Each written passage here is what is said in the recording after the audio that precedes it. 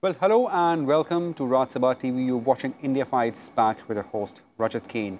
In this episode, we will talk about the global policy that perhaps is required for the vaccines. As we have seen that several countries and the infrastructure is struck by waves after waves of COVID-19 pandemic, there is a requirement of vaccinating as many citizens as possible.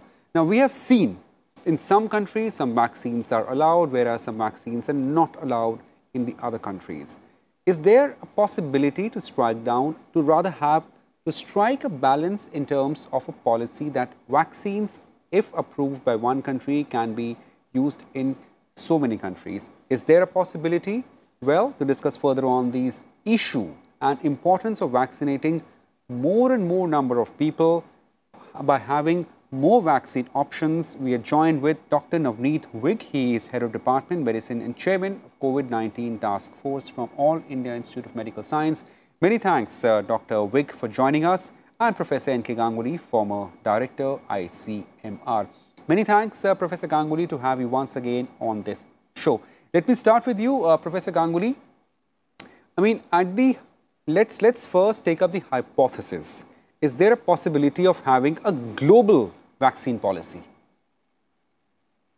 Actually, um, any global purchases, whether it is done by UNICEF or whether it is done by Gavi or any other international agency, one of the pre-qualification is that have a WHO pre-qualification. Mm -hmm. If it has WHO pre-qualification, then any country, the international agencies will buy and the countries which do not have a strong regulatory framework, they will buy it with a lot of confidence.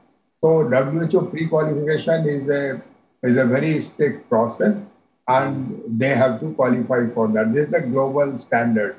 Then the countries have their own standard. Right. Like US FDA has a has created a standard guideline which is in their website, and that standard guideline says that any vaccine, even for emergency authorization, should complete its phase three trial. Phase three trials in COVID used to be around sometimes around 40,000, sometimes around 60,000 or more subjects. And here, the different age groups had also to be looked into.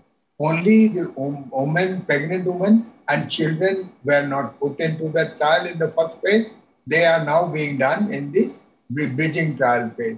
So here, the US FDA has also stated that at least two months follow-up, normally minimum six months follow-up is needed for a vaccine to be authorized for looking at the many safety issues, which are long-term safety issues.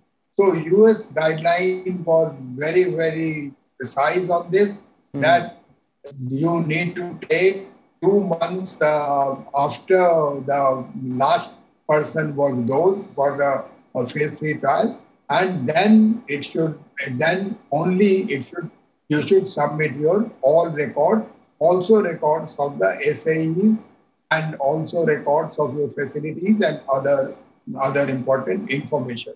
The mm-hmm. the other major uh, major agencies like European agency, EMA, as well as Canadian Health and Australian Health. These are some of the major regulatory agencies. Now UK Health is a different one. All of them had uh, adopted such policies.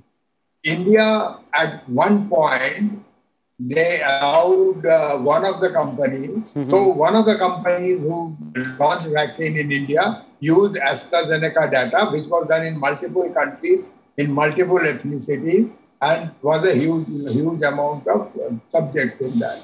But uh, the other company, which didn't have any international trial, submitted up to phase two data. Right. And, and on that, it was given a trial mode, um, uh, uh, some trial mode permission. So what they did, they so there was no placebo now. So there was no comparator group uh, after, in the third phase. Okay. And in the third phase, they completed the third phase mm. uh, by taking informed consent. So, so the endpoints, and at that time, the problem arose that the, in India the numbers dipped. So mm-hmm. there had to be sufficient number of cases in order to qualify even in that particular part. Okay. So, so for India's need, it was done by Indian regulator because at that time India needed it. Right. But if you want to go and export it globally, you can export it to neighbors. If they are lacking vaccine, they will accept it. But international agencies will not buy it, and many other countries will not buy it until unless it gets uh, approval, either WHO pre-qualification or some of the other regulatory agencies who are respected around the world. So this was the right. situation. Uh, right, right. It's really important, uh, uh, Professor Ganguly, your opening remarks to understand the context of, you know, having vaccinating large number of people and at the same time how these vaccines get clearance, the nomenclature of vaccination per se. Uh, Dr. Wig also joins us from All India Institute of Medical Science. Many thanks, uh, Dr. Naveet Wig Sab, uh, for joining us. Sir, at the outset, I mean, uh, does different demographics uh, have a different response to a particular vaccine? It's a very simple question I'm asking. I would say please take first shot of vaccine, whatever vaccine is available. Okay. So does that answer your question? No, not. all vaccines are safe. All vaccines are safe. All vaccines are immunogenic. Okay. I cannot give more confidence than this. Right. All vaccines are safe. All vaccines are immunogenic. Mm-hmm. You see, pandemic is moving so fast. Mm-hmm. There is no time for policy at this moment. It is time right. for action. And what mm-hmm. action demands? Please take more first shot of vaccine. It will prevent you from dying. Mm-hmm. Action of vaccine takes two months to come. Okay. So the earlier we take the first shot, the better it is. Mm-hmm. So vaccine and mask, these are two clean masks. These are two important issues. Right. Nobody right. is safe until everybody is safe. All mm-hmm. governments have to realize no, nobody wins the race until everybody wins the race. So it is such a situation. So we have to understand that one policy has to be formed. We have to respect each other people have to get vaccines. Mm-hmm. Now is the time to give vaccine. Otherwise, uh, variants are coming. And then genomic data, real time mm-hmm. genomic data, and neutralization assays, and then changing vaccines as per need is another issue which can be held, which, which can be talked later on. But currently, action is needed that please take first dose of vaccine. Even, even now, vaccines are not, people are not taking vaccines at some places. Hmm. So there are vaccines at some places people are not taking, and I would say please vaccinate villages first, villagers first, okay. because health infrastructure is less there. Mm-hmm. So where health infrastructure is weak, please vaccinate people there. Mm-hmm. Then come to Tehsil, then come to tier two cities, then come to tier three cities, and then come to bigger cities. So uh, let me, I'm sorry to interject you here, but this, an extremely important point you have raised here, that first we should vaccinate villages and tehsils, basically rural belt, as, as awareness happens to be low over there. What so possibly could be the reason behind hesitation or vaccine hesitancy, as we say, quote unquote, even in the urban areas? We have seen there reports after reports that, that there have been a stockpile in private hospitals that is lying unused I mean, uh, you know, I mean, basically it means they have a particular vaccine, but not many people are turning up, it seems. So it is community engagement. Have youth ensured that their parents are vaccinated? Parents take care of their children. Are children taking care of their parents? We have to ensure that our parents are vaccinated. All youth of this country have to pledge that they have to vaccinate their parents. Mm -hmm. It will prevent them from dying. Vaccine is safe. I have again said it is immunogenic. It tricks your body. Vaccine tricks your body mm-hmm. to produce an immune response against COVID. So it will prevent severe disease. It will prevent death. So vaccine right. will prevent death. So all youth have to ensure that their parents take the first shot of vaccine. Mm-hmm. This message is simple and clear. Right, sir. Right. That's very important, Dr. Naveed Garg, for your opening. Um, many thanks for your opening remarks. Uh, Professor Ganguly, uh, just taking this discussion forward of vaccinating fast and vaccinating as many as possible. So, in days to come, I mean, as we say, I mean, uh, would we see any sort of a mixing of vaccine, like have a dose of, have a first dose of whichever vaccine available, and then possibly have a second dose of whichever vaccine possi uh, possible or available? Will this Actually, be possible? Yeah, this is possible mm -hmm. when there are vaccine shortages. And one of the vaccine is not available or the batch goes destroyed, like one of the Johnson and Johnson's entire batch got uh, faulty and destroyed.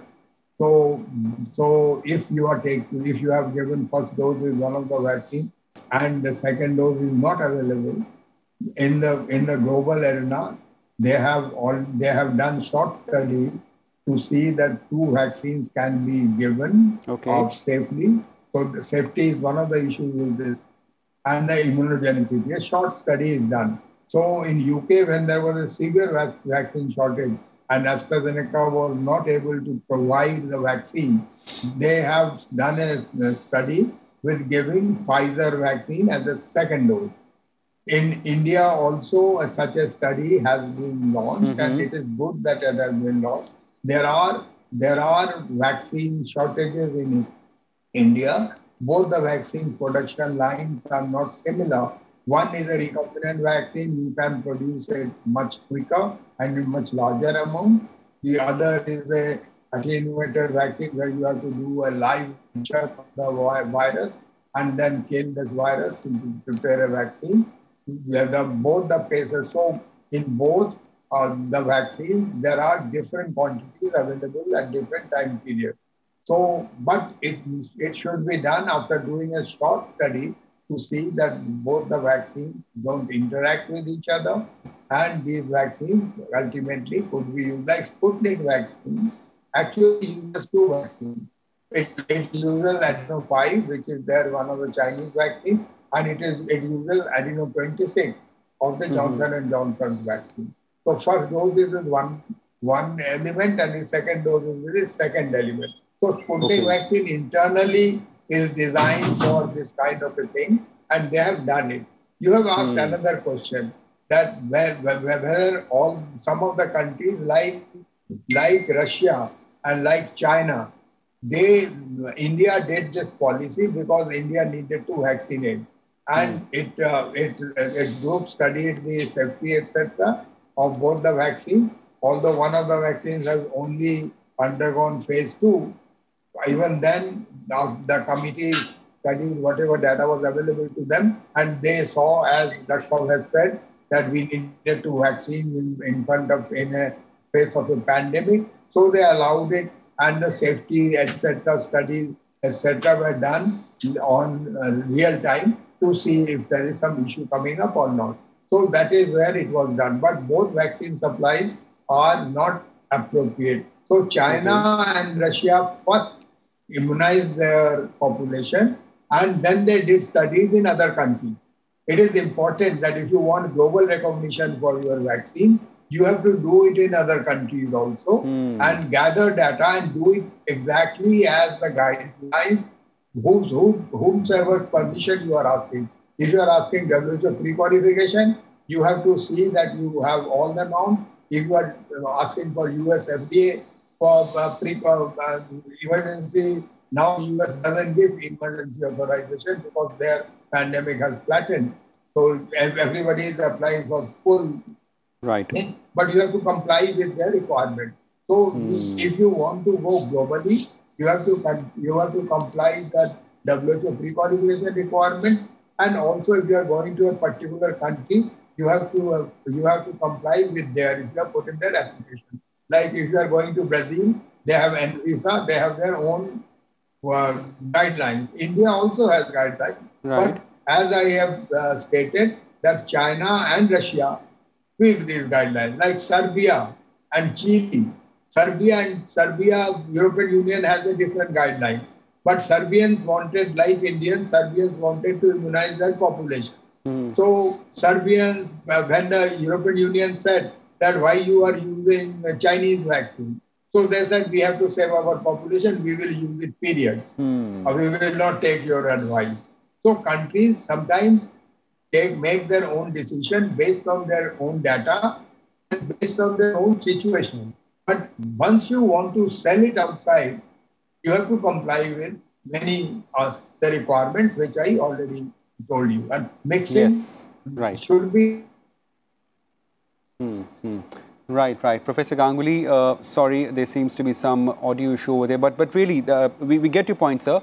That uh, you know, I mean, uh, when it comes to our own use, we can have, of course, our own policy or own action per se. But now, when we are selling, so of course, different yardsticks apply to the target country. Uh, Dr. Wig, uh, as just taking forward discussion on the mixing of vaccine uh, in case of emergency or possibility of a shortage do we see that happening even at a larger scale currently at again i'm saying i'm sorry to say it's not on the action stage it's still you know at, at the stage of studying or on the drawing board I am a firm believer, again, I'm talking scientifically. I am a firm believer of prime and boost approach. okay So you're talking of mixing of vaccine. I call it prime and boost approach. okay This approach is the way forward. okay You prime now. You see, we have multiple types of vaccine. DNA vaccine is coming. mRNA vaccine is there. Subunit vaccine will come, and we have killed vaccines. We have uh, um, vector-based vaccines. So we have so many types of vaccine. Now the study really starts.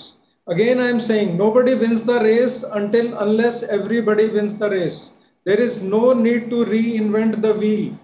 Now, globally, this uh, the topic which you have cho- chosen today, globally, there is no need to reinvent the wheel. Countries who have the capability they, and scientists who have the capability, they have to act very fast. They have to ensure that if mix and match or prime or boost strategy has to be used, they start acting now. Again, Right. I'm saying that hmm. real time genomic variant analysis and neutralization by the vaccines have to be studied real time globally hmm. because we have to win this war globally. And then so many types of vaccines are there, they are safe, they are immunogenic. Suppose I prime with uh, Covaxin first. I have Covaxin, or even if I have got a COVID, I've got a live virus inside. Now I have hmm. taken a killed vaccine, right? Or a live vaccine. Now, if I boost with Covishield, which is there, it might produce immune response which might last for two to three to four years. So that is how the studies have been started. So hmm. we have to now vaccinology studies have just started. The whole vaccines are available in next few months. You will have subunit vaccine. Hmm. Probably every year I have to change my subunit vaccine. So every like influenza, I might have to change vaccines. So this is the science which has just beginning. But again, I'm saying everybody does not reinvent the wheel. There has to be a global war on this to win uh, COVID. Only then we can do it. And prime and boost will be there. It is there to stay, and it is priming with one vaccine and boosting with other vaccine. What happens in UK? UK first gave AstraZeneca vaccine. Then they were short of AstraZeneca vaccine. Then they gave Pfizer vaccine. What happened in Germany? They gave first AstraZeneca, then they then they gave Pfizer. Same thing happened in Spain. So these two vaccines are once you have done like this, they are equally effective and probably more immunogenic. So probably more immunogenic means that action may last little longer. Mm-hmm. The booster dose, which may be required, may be required after a longer time. So now a big science, people have to people have to shun their egos. Hmm. I am being very blunt. Scientists, countries have to shun their egos. They have to work on prime and boost strategy and give immediate result. That is what I meant by action. Lot of thought process has gone on. We have the vaccines, how to mix and match or how to prime with which vaccine and boost with which, with which vaccine is the way forward. Because ultimately shortages will come up. Hmm. And two vaccines may not be the best strategy. I'm not currently it is the best strategy. And for next year, maybe Well, uh, Professor Ganguly, you also agree that so that this bigger battle against COVID 19 doesn't get mired in any contradictions, we have to, or rather, say, countries, system, governments, they have to shun the egos and, of course, move towards having an equitable vaccine. You need you see that in the first instance, when the vaccines shortages were there, some of the countries had advantage, they had the vaccine, and there was some kind of a vaccine nationalism. But in this mm-hmm. G7 um, group meeting, in which Indian Prime Minister also participated, the countries have pledged vaccines for those uh, countries who do not have vaccines. So vaccines need to go to everyone. If there is a, like in polio, now we have in Afghanistan and Pakistan, we can't allow polio to be anywhere. Mm-hmm. So if we have COVID anywhere in the world, we are all vulnerable. We can't allow that. So at one stage, when we have plenty of more vaccines, we, we any country who has it need to supply to those who do not have it. Mm. And in our country, the one of the major things which we have to do because so that we don't have another wave because at the even at this given moment the death rate is quite high mm-hmm. we need to immunize as quickly as many per persons as possible so our mm-hmm. country has made a policy that by december its target of immunizing at least 60 70% of eligible population will happen it is also planning to go to uh, children of 12 to 15 years age group and uh, the studies are on and, and if we get the Pfizer and other vaccines which we are trying to get we will be able to go to children and pregnant women also okay. so let us see in another two three months in assessment of the government of india we have uh, we will have at least four or five vaccines hmm. right four or five vaccine or for that matter more choices of vaccine for as many number as possible in terms of inoculating citizens in India. As we close the show, Dr. Naveed Garg, just a closing remark, sir, how important do you see, you know, the parity of vaccination so as to have more and more people vaccinated? So we have to, it is like a train. We have to, we have to see whom we want to benefit most Hmm. Please vaccinate rural areas first, then right. tehsils, then districts, and then people and along first people with comorbid conditions. Mm-hmm. So we have to understand we have the way train comes. Who goes inside train first? First, it is uh, elderly citizens. They go in. Then handicapped people go in. So we have to understand that way. So we have to first vaccinate people. We did with frontline workers, we did mm-hmm. with elderly, we did with comorbid conditions. From 18 to 45 also, we must do with, uh, from 18 to 45 with comorbid conditions, we must inoculate them first. We must vaccinate them first. Then villages, then tehsil, then second tier and third tier cities. And then we have to vaccinate everybody. So we right. have to make some plan. And no. only otherwise, uh, that planning will help us to help and protect our citizens to decrease the mortality. Right, right. That's really important. So we have to have to have a plan, and that, of course, will be decisive to end or rather to counter this COVID-19 pandemic. Well, many thanks, uh, Dr. Naveet Wig, for joining us uh, from AIIMS and Professor N.K. Ganguly once again joining the show and throwing a light on important aspect of this fight against COVID-19 pandemic. But before we leave, a small appeal to all our viewers as experts on this show keep on emphasizing there are a few things that we all need to do here. First, follow COVID appropriate behavior of washing our hands, maintaining physical distancing, and keep wearing face mask. And lastly, vaccinating and vaccinating fast is the key forward. Well, many thanks for joining us on this edition of IFB. Thank you. Goodbye.